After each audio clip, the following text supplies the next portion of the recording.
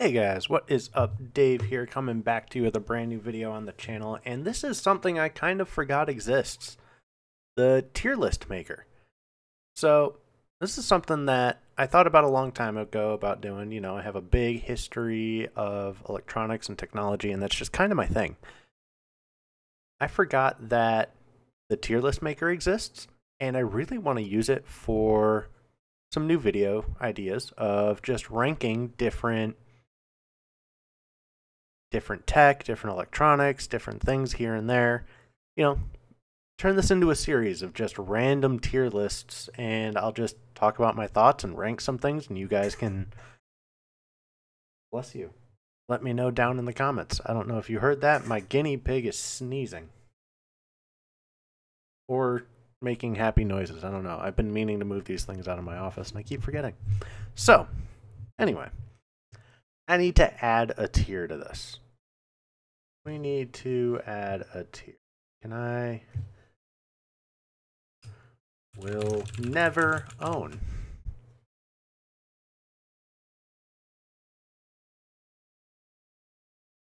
Oops. Oh, apparently since I've never used this, I don't know how it works. To delete this row. Will never own. So that's going to be things for things I am not willing to use at all um, and even on top of that, as somebody who buys and repairs and flips devices uh, as like a side gig, I won't even give those phones to people. And then there's going to also be some phones in this uh, that are not here, phone brands that are not here, that I'll try to talk about and uh, give some insight in on some phones that you guys have probably never heard of. So, right off the back, we're going to go in order here. Mi. These phones are actually fan freaking tastic. Uh, me phones, my phones, I forget how to say it exactly, but fantastic phones. And right up there, the same way is actually Redmi with those. I like Redmi as well. Mi phones, Redmi phones. They're basically just different Xiaomi phones in the end. Um, every Xiaomi phone I've ever had in my hand, I have very much enjoyed, and I really wish they were more prominent in the US because I feel like if people gave them a chance, they would actually overtake something. I'm not going to say Samsung, but they would be like right behind Samsung. I have a, or actually, I sold it recently. I sold it just before Christmas. I had a Redmi Note 9 Pro from overseas that was running Ubuntu Touch. It was not Android at all, no Android system inside of it at all. Simply Ubuntu Touch. And it was freaking awesome. The battery life was like 3 or 4 days with moderate use. It didn't work with AT&T, it didn't work with Verizon. It worked with Mint Mobile, and that was good enough for me. AT&T has a whitelisting for devices and in my area at least, a lot of Verizon is still CDMA. So no matter what, it was not going to work for me. And that's why I ended up selling it because it was a phone taking up space. It was worth a lot of money. Time to get rid of it. Uh, Red phones. Red made a single phone. As far as I'm aware, they only made one phone. Hold on. I'm going to Google it. Make sure I'm not an idiot. One sec. I was right. Red. This might not be the red that they meant to put on this list. Red, uh, Red Magic cameras. Um, they made one phone. They made the Red Hydrogen 1. I'm wondering if that's not what they meant to put here. Because there is another red uh, something or other that I've heard of in the cell phone world. I just don't remember it off the top of my head. But C tier. I played with one once. For them being a major camera company, I was expecting the camera on the back of the phone to be fantastic, and it was no better than like a high end ZTE. Like the phone was not great. So now we move on to one of my favorite phones ever. I want them to make a Razer Phone 3. Make a damn Razer Phone 3. Okay, it's going to be high A tier not going S tier simply because there are so many problems with the Razer Phone 2 and there's no part availability for repairing them. So, yes, Razer Phone 2 is one of my favorite phones, and at least once a week I think about moving back to mine that's running Lineage. A big thing for me in an Android phone is can I custom ROM it? Can I root it? And this is going to sound really stupid. Can I Pokemon Go hack? If those three things are met and the Pokemon Go doesn't lag, I will enjoy the phone. And when we get down to Google, I will understand you will understand my frustration. So, high A tier, it's a difficult phone to fix. There is an issue specifically with the charging ports where after a while it seems to just stop working and it boot loops when you plug in a charger. Uh, and also the batteries, you can get replacement batteries for them. Um, but other than that, good luck repairing one. It's not really worth it anymore unless you really enjoy the phone. But uh, yeah, let's let's go with another one of my favorites that I own. I want to say almost a dozen of them. Two of which are factory sealed in the box, and I have the DAC and 3D camera attachment. Essential. Uh, where do I put you, Essential? Where do I put you? Are you a B tier? Are you an A tier? Are you an S tier? The Essential phone is a great bang for the buck. I'm going S tier. Essential phones were fantastic. The only flaw to an Essential phone is when you go to repair it and put the screen back down, there's very little bezel between the LCD and the side metal and the framing of the phone. So when you go to repair an essential phone, you are playing with fire with reattaching it to the frame. There are YouTube videos out there, they make it look easy. It is not easy. I promise you, it is not easy, unfortunately. But fantastic phone. You can get one for about the same price as like a Galaxy S9 is when I first start, started collecting them. They've only gone down in price ever since then. The two that I have in box, one of them I bought actually from my one of my favorite YouTube creators when he auctioned off a bunch of stuff on eBay because he was moving across the country and he didn't want to take it with him. I got the DAC and the phone from him. And that's going to stay in the box. That's one of my favorite possessions. Uh, the drummer Kobus. I hope he gets his YouTube channel back. It was recently hacked by the OBS hackers, the ones that are making the fake OBS and then putting it on Google and they get higher rankings than OBS's actual website. I hope he gets his channel back. I've been watching his channel for years and years and years. Let's just hope that he gets his stuff back. But Essential Phones, still hands down to this day, my favorite phone I have ever owned and used is the Essential Phone 1 and I really wish they would have had the chance to make more. I am moving these guinea pigs. They're annoying. Hold on. My office is so quiet now. Like, gotta really clean up after them. But anyway, let's get back to let's get back to this. Fuck ZTEs. No more. They don't deserve to exist. I'm going to save Apple for last. I'm going to save things that I've currently owned for last. Um, they made phones? Hold on. That's kind of what I thought. That's kind of what I thought. They're just going to go there. Energizer, B tier. What is the Energizer cell phone? They made one, as far as I know. I have held it in my hands, I have used it. Holy crap, what a freaking brick. Oh my god. Um, the Energizer phone that I got to play with, I think had a 6000 milliamp hour battery in it. It was a chonky, chonky boy. Very cool phone. Would definitely potentially use one as a daily driver because the battery lasted four days. And then I don't think anybody ever made custom ROMs for it. I never got to look into it. I sold it too quickly. But very cool phone. Very, very cool phone. Samsung. C tier. Good hardware. Good hardware. That's about all I have good to say about Samsung. North American phones, North American consumers are specifically attacked and the bootloaders are locked, and there's only exploits for specific bootloaders. Um, the international variants, people will argue with me on this to the day I die. The Exynos versions of Samsung phones are better than the Snapdragon phones. I had two identical Samsung Galaxy Note 10 Plus 5Gs. I actually made videos on my Exynos version a while back, I believe, um, on how to put a custom ROM on it. My Snapdragon version had an unlocked bootloader. My Exynos version had an unlocked bootloader. Just got lucky that I had one of each. Put Lineage OS on both and I should have done like a comparison video. Would have been really cool and potentially, you know, a lot of fun to make a video about.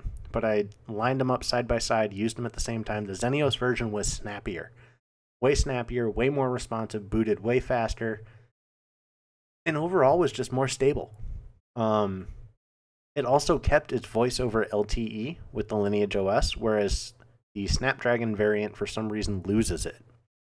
So Samsung is C tier because bloatware, software is horrible. Their Android OS is gigantic. It's so stupidly bloated. There's no reason for it. Uh, but the hardware is good.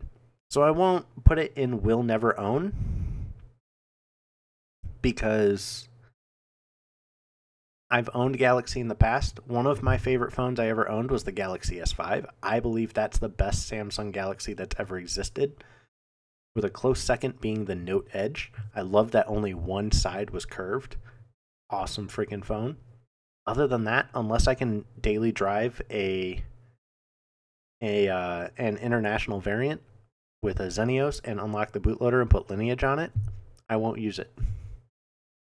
Asus B tier, good phones.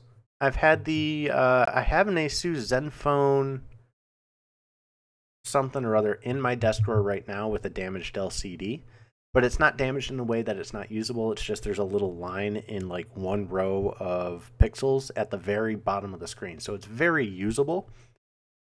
Um, but good phones overall. I've played with a couple of them. I've only ever owned this one. I like the phone a lot. Would daily drive it if I absolutely had to, but it doesn't seem to work with Verizon, and I think mine is locked.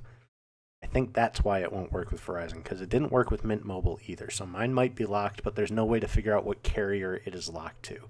So it's kind of just a if my son wants a new phone to play with, or like once my two year old becomes like a four year old and he can have a phone to at least watch YouTube videos on himself, he'll probably get the Asus phone. It's not that bad. The line isn't that bad. It's whatever.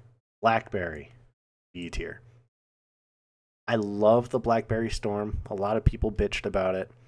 And a lot of the BlackBerry Android phones were actually very cool as well. One of the last phones to have full keyboards, physical keyboards. I miss physical keyboards. I actually still have it's in one of my drawers and I wish I had a face cam set up, but my office isn't quite there yet, so one of these days I'll do it. You'll you'll recognize this ASMR if I got it right. That is a Droid Global 2 running Android Gingerbread. Still works, still charges. 5 megapixel camera on the back. Still has Tap Tap Revenge installed from when I originally got the phone brand new. I will never get rid of this phone. Uh, is Motorola on here? It is. So I meant to move it. Motorola. We're going to go B tier with Motorola as well. They're not the greatest phones. They don't have a good resale value.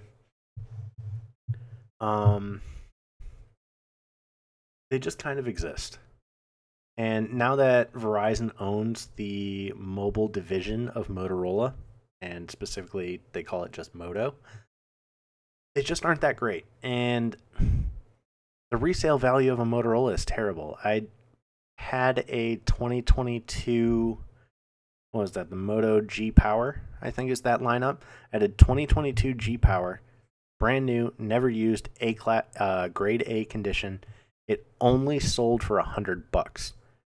The Samsung Galaxy, that's kind of the equivalent at hardware level, is I think like the S10, and even that sells for more than that now. So Motorola's not great, especially even brand new ones. Like they're not even worth it. If you're somebody that does like Amazon return boxes or something like that and you get a lot of Motorola's, I'm sorry. I'm sorry. Let's talk LG. That's going to be an argument I feel like, because LG phones, yeah, not great in the long run, or like when they first started, especially like the Stylo 2, they got there was a class action lawsuit over that phone. But realistically, except for the phone brands on this list that have only made a handful of phones like Essential, Razer, Red, Energizer, and that's really it. All the other brands on here have had some form of warranty or something like that where they had to say like hey we got to warranty these things for pretty much all of time and even some of the brands down here have had to do that too um the stylo 2 was a nightmare but even apple wasn't immune to the same thing the stylo 2 went through but we'll get to that uh, long story, actually, I'll say it now because I'll probably forget by then. They did uh, a method of soldering called cold soldering on the iPhone 7s, the A1660s. The iPhone 7, what cold soldering is, is basically a different soldering method with solder that melts at a lower temperature. And when you put all that inside of an enclosed casing that gets hot, it doesn't mix well, and what ended up happening is the baseband board would start to separate from the phone board and would no longer make contact with the board, and you would lose your IMEI and cell phone signal. LG had the same issue. Actually, so did Samsung with the Galaxy S5s. The RAM chips on the on the board, the RAM, um, well, they're SoC basically. The LGs had the same thing with the Stylo 2 and the Stylo 3 um, but it was only early production Stylo 3s, so like the first one or two batches, and then they learned their lesson. So, Realme. I don't like them. They are okay phones. I just don't like them myself. I wouldn't use one myself, but like if I got one in some form of a really good deal, I would still resell it. I'll never sell these. Let's go with Meizu, not good. The end. Nokia, won't use, not good.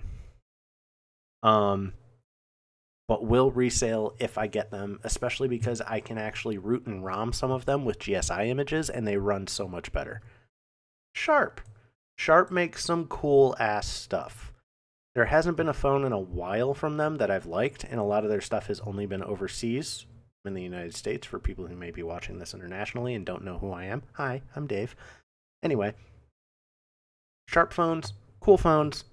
Um, but other than that, there's nothing special that sticks out about them like S tier and A tier would for me. Like this thing has the back LEDs. Cool on its own, honestly. Honor phones. I'm throwing one of those in the dumpster if I get one. Honestly, I'll throw it in the dumpster. Oppo. How do I rate Oppo? How do I rate Oppo? Wherever Oppo goes, OnePlus goes. What a lot of people don't know is Oppo owns OnePlus. A lot of the phones that OnePlus releases in the United States are just rebranded Oppos.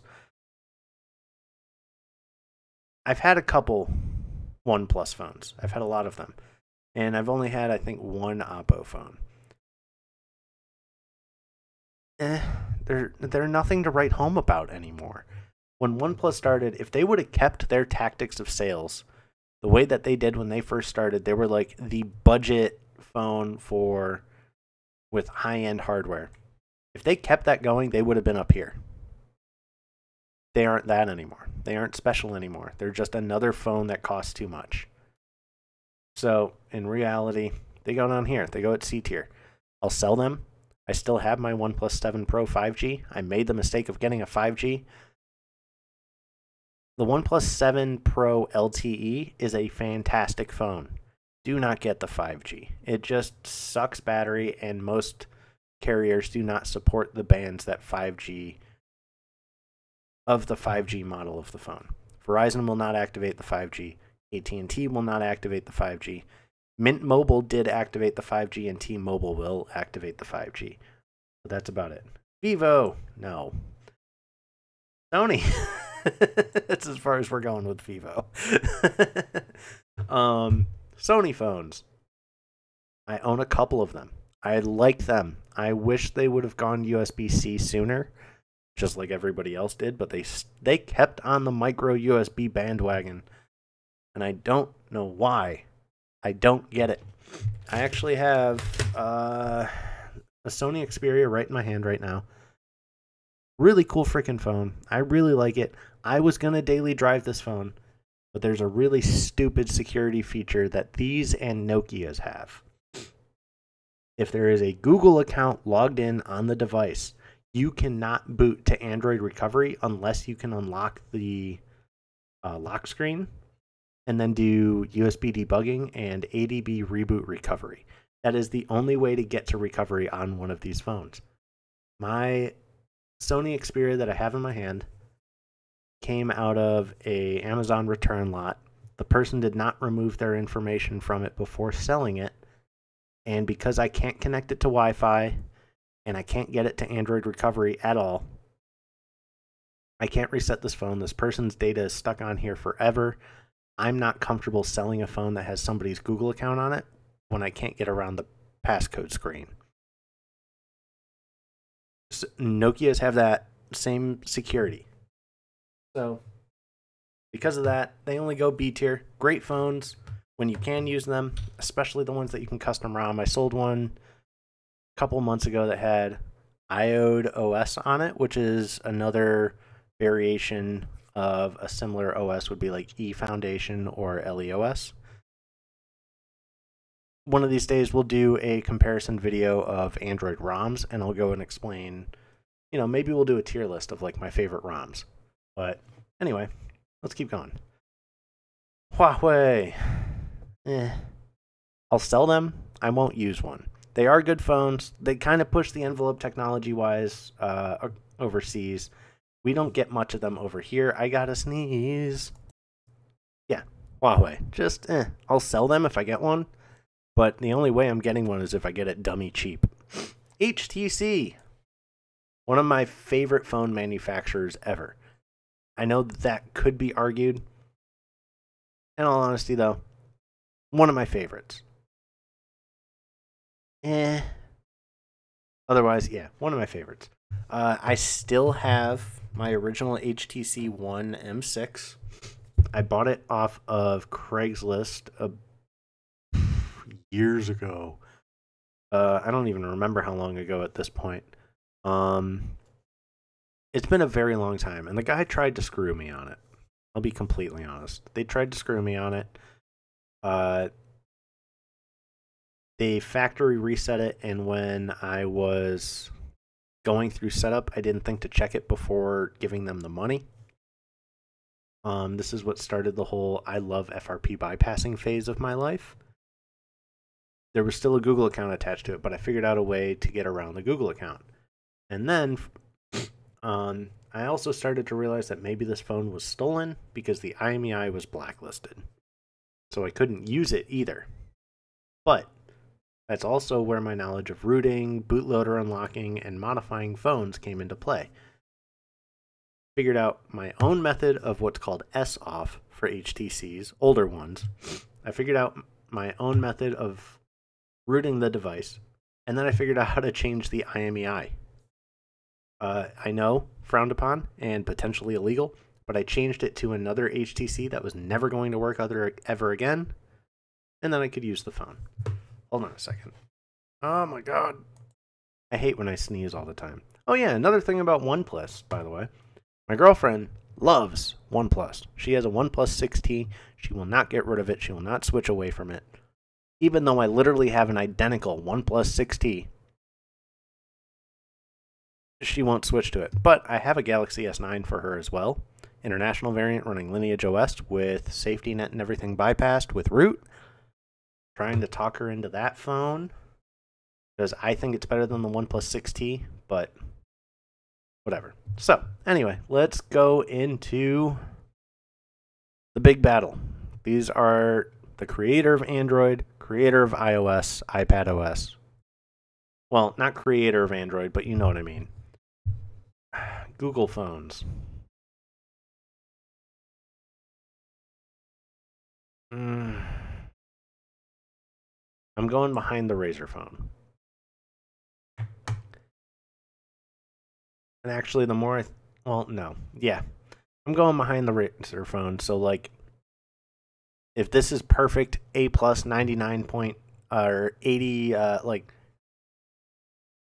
this is ninety nine point nine percent. This is hundred percent.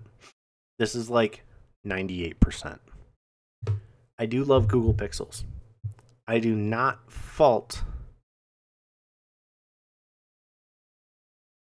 the issues that I'm having with my Google Pixel 6a necessarily on Google or the ROM creators or anything like that. Use crDroid on my Pixel. I've used AICP. AICP is better, but the battery life sucks. It sucks down battery. And there's terrible RAM management on Google Pixel 6As. I don't understand why. Um, I have a big issue, especially on crDroid ROM. That thing had a nightmare of issues. You had the ROM running in the background, and then you opened up even like Google Chrome to just Google something real quick, and then went back to the previous app you were using. Any other phone, even my essential phones or my Razer phones, or even actually, uh, there's a couple phones I'll do like honorable mentions on um, that aren't on this list. Like HP actually made the Palm Mini. There's the K Touch brand and Jelly phones and Jelly phone is definitely B tier. The HP Palm Mini is B tier. The Google Pixels they're A tier because if you want a phone you can trust to root and ROM, as long as you're not buying it from your carrier, you can do it. Samsungs, you can't do that. You can't just go buy a Samsung phone from Samsung and then bootloader unlock it and you're good to go. It should work that way. It should work the same way.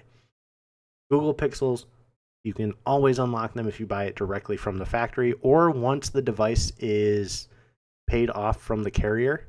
OEM unlocking will unlock itself except for Verizon variants.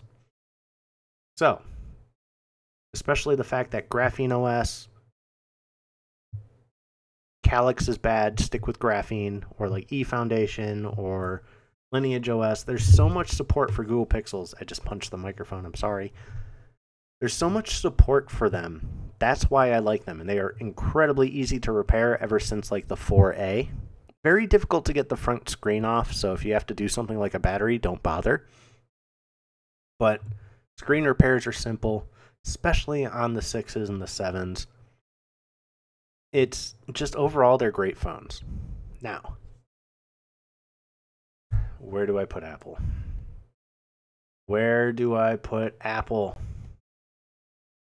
It's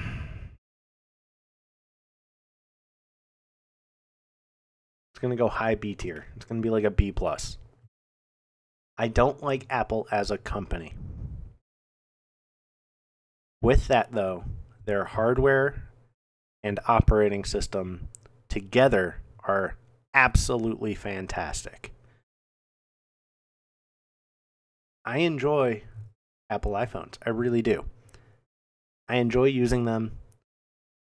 I enjoy tweaking them with jailbreak tweaks and stuff like that once I can unlock them and jailbreak them.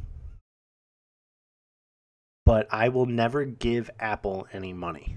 I will resell them all day, but the market's very flooded and it's very difficult to buy and sell Apple iPhones. iPhones overall great. iPads fantastic. There's not an Android tablet out there that can touch an iPad. MacBooks I know that's outside the scope of this because this is phones, but MacBooks are fantastic. My favorite laptop that I own is an A1465 from 2014. Show me a Windows computer from 2014 that's 125 bucks that can keep up with that MacBook. I'll wait. There isn't one. It's not possible. I have four MacBooks on the floor next to me. They all work. They're A1370s. One's a 1465, but it's like a 2011. Um, yeah, 1370. So these are like 2011s. They're not bad either. They still work phenomenally. Yes, they don't get app they don't get updates anymore. Or no, they don't get updates anymore. But overall, show me computers that are 10 years old that are running Windows that run as well as a 10-year-old MacBook. Show me a 5-year-old Android phone. Let's say iPhone 8 an iPhone 8 is fantastic. Show me an Android phone that runs as well as an iPhone 8 in the same price bracket. There's not many Android phones that match that. And if they do, it's like a Samsung or like the Google Pixel. Other than that, there's not much that can match an Apple iPhone, and there's nothing that can match an iPad unless you're going Microsoft Surface. And at that point, you're buying a computer, you're not buying a tablet. I know they sell them as tablet only. But realistically, wise up. It's a it's it's a computer. So anyway, that's my tier list. Take took me half an hour to get through that. Good lord. That's my tier list on phone manufacturers.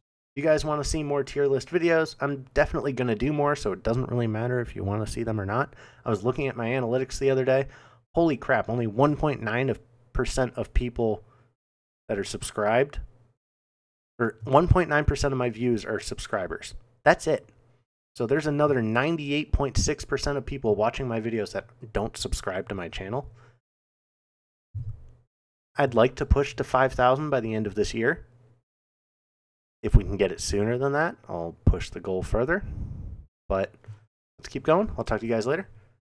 And uh, yeah. Peace out.